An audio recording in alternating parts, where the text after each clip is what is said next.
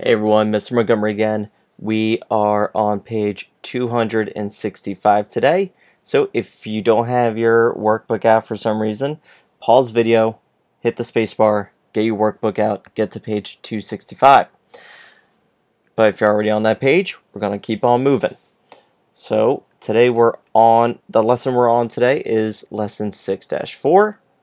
And we're still going to be interpreting data, but we're going to be doing it with a little bit of a twist. So instead of just comparing two numbers uh, on a chart, today we're going to be able to complete a chart with just some information given to us.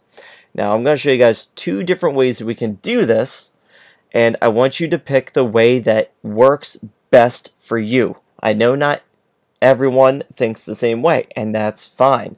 So I will show you guys two different very quick and easy ways to do this so you can do this on your own without any problems.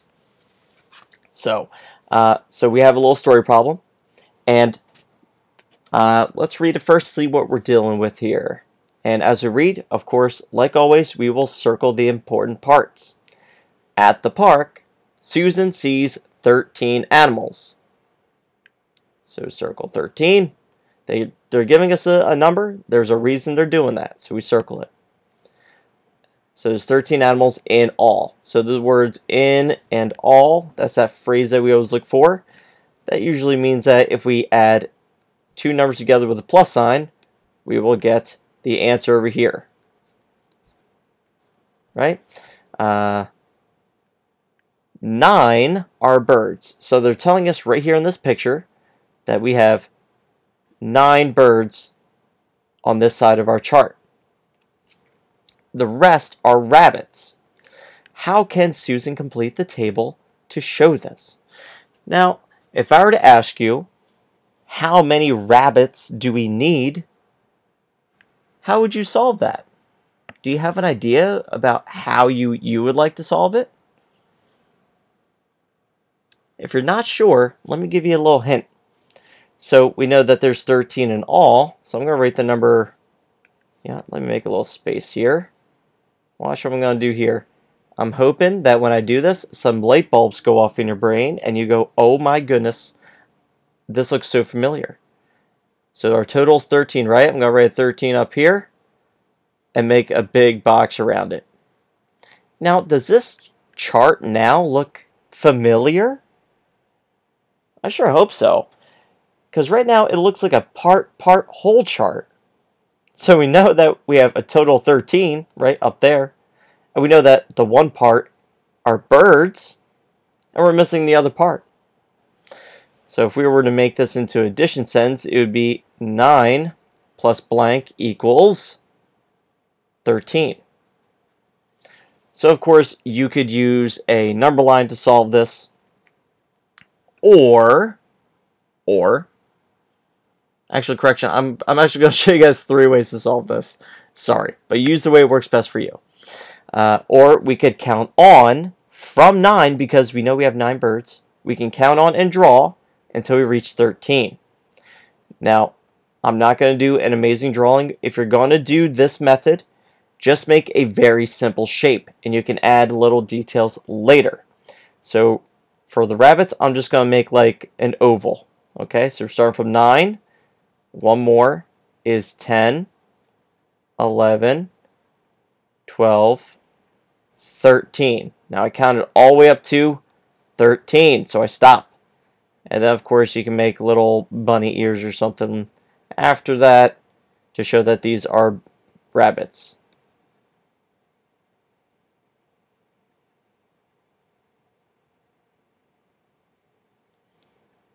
And give them whatever kind of nose, some whiskers, whatever.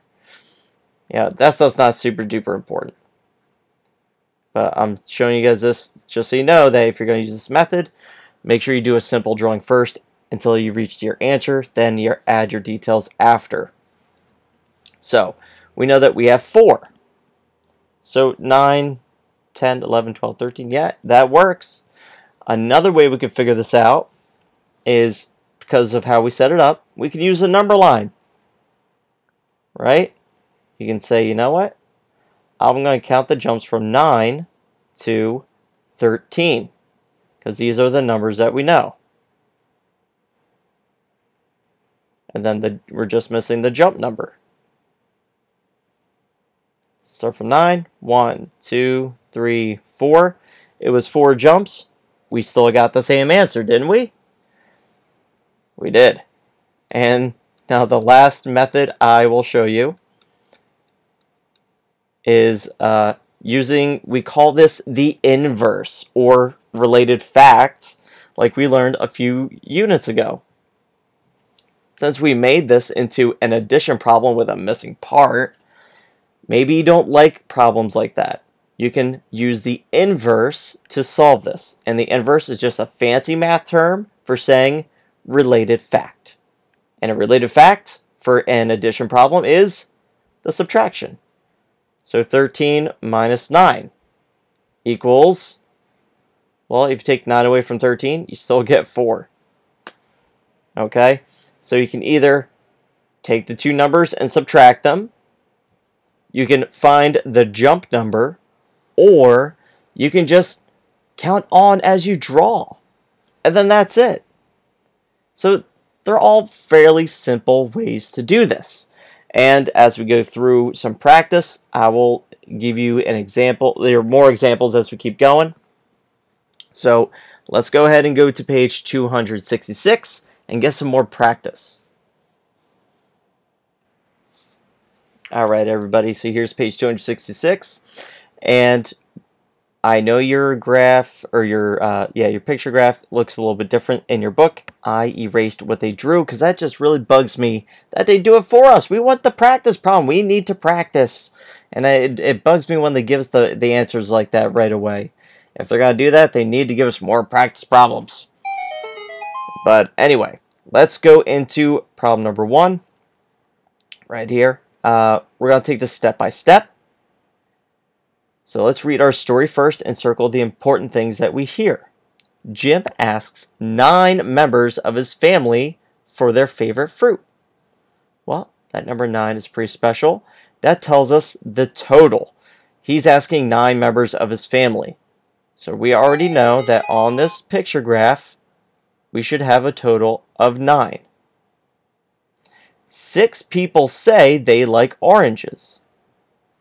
So right here we have six pictures of oranges. One, two, three, four, five, and six. Okay. The rest say they like apples. How many people say they like apples? I would recommend for this, just like before, that it's probably easier for us to draw as we count. So uh, I can just get a red here. And we know we have six down here, right? There's six oranges. Uh, and I'm going to count on from 6. So 1 more than 6 is 7. 1 more than 7 is 8. 1 more than 8 is 9. So I reached all the way up to that number 9. And I stop. Now just look at how many I drew. I drew one, two, three apples. So three members of his family like apples. And we can even check our work by subtracting 6 from 9. And you could also use this method to see how many you need to draw in your picture graph. And I'll show you guys right here. So if we take, so we know that 9 is the total. So 9 goes first because it's our big number. 9 minus the part we know, which is 6, right? So 9 minus 6 is 3.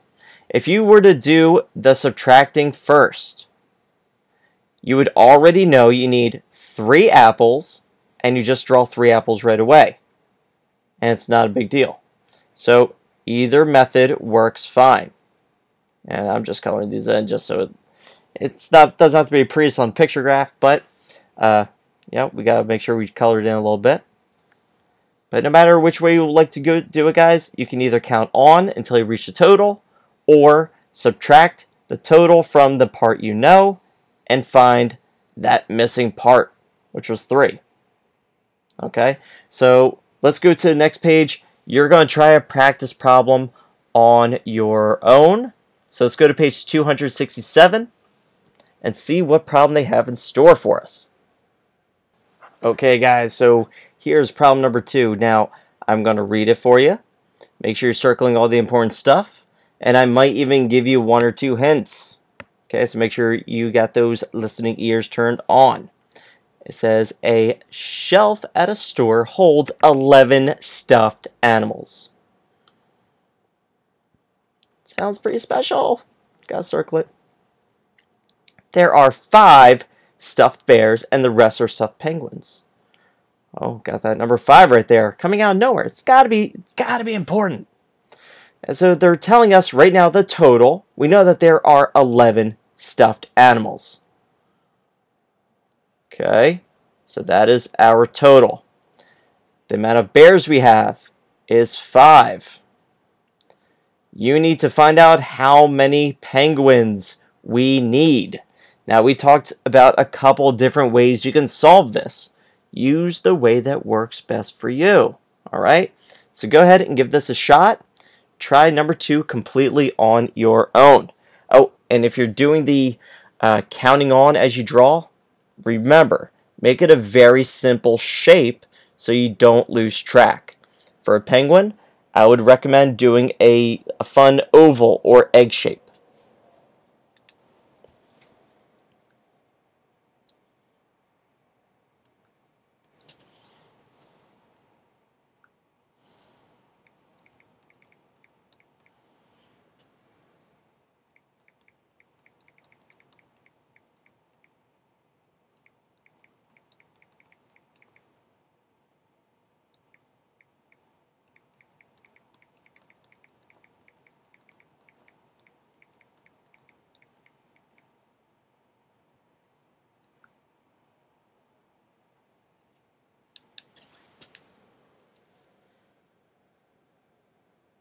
Okay, if you're still working on this, that's fine.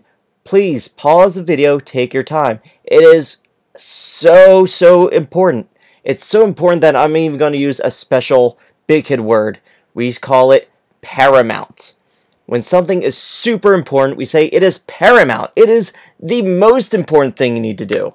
So if you didn't finish that problem yet, it's paramount that you finish it on your own first. If you're done, let's uh, let's solve this problem two different ways and make sure that your answers are correct. So I'm just going to use a different color for fun. Get rid of the little arrow. All right. So we know we have 11 and there's five bears. I'm going to count on from 5 all the way to 11. Okay?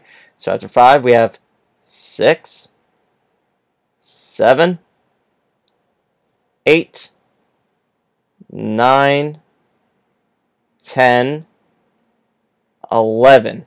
So I reach 11, so I stop. And I just count how many I drew. 1, 2, 3, 4, 5, 6. I drew 6 penguins. And if I want to check my work, I could I could easily just do a easy subtraction problem because that is going to work for all of these. We can subtract with every single one of these. So if you're really good at subtraction, totally go for it. Subtract the two numbers instead. Because watch this. We just set it up. 11 minus 5. If you need a number line, we can make that really quick. 11, 10, 9. Sorry, sorry guys. 7, six. Now I shouldn't need any more than that. Start 11, make five jumps backwards. One, two, three, four, five. I still landed on six. So I absolutely need six penguins. You can either subtract the two numbers or uh, do the counting on. That is probably, in my opinion, the two easiest ways. I know I did mention a third way earlier, but I feel like a lot of friends do have trouble with that. So I would recommend picking one of these two methods. Either counting on as you draw until you reach that total that they give you, or you just subtract the two numbers and find the difference. Either way, you get the correct answer. How awesome is that? So I would like for you guys to try number three and four completely on your own. I will read them for you. After I read each one, I recommend that you pause the video so that way you can take your time with each one. So for number three, Zach plays 17 games in a season. Nine of the games are soccer games, and the rest are baseball. So we have nine soccer, right? That total of both of these has to be 17. How many of the games are baseball out of those 17?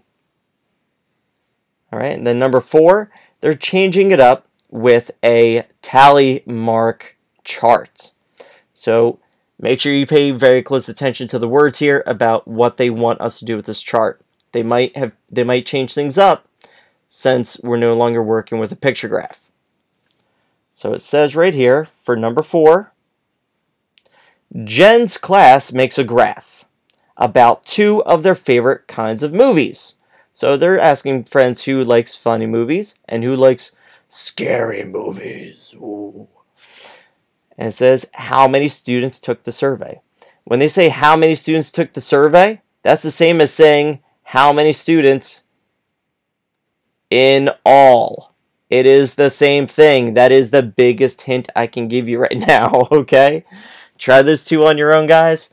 Uh, if you're in my class, after you're done those two, go on our Google Classroom and do the IXL assignment. If you're not in my classroom, please check with your teacher to see if they have any independent work that they would like you to do instead of the assignments that I have. Okay? So hopefully this uh, this lesson was actually pretty fun for you guys. It wasn't too crazy. I'm hoping everyone understands it perfectly. If you have questions, please make sure you let me know. Or if you're in a different class, let your teacher know if you're confused about anything at all. Anything. All right? Uh, but that's it, guys. I'll see you later, and I hope you have a great day.